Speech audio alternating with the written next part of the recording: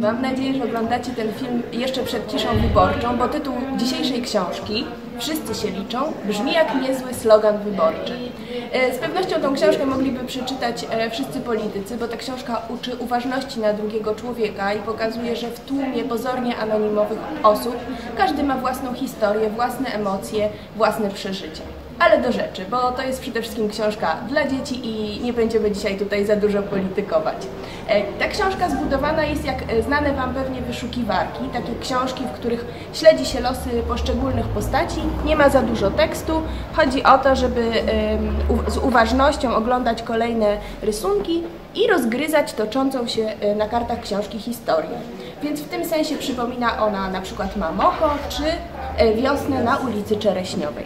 Ta książka jest jednak trochę bardziej zaawansowana, to znaczy, by odkryć historię poszczególnych bohaterów, trzeba poruszać się po, po kartach tej książki do przodu i do tyłu, kojarzyć fakty i wtedy dopiero wyłaniają się całe losy wszystkich lub prawie wszystkich postaci umieszczonych na tych stronach.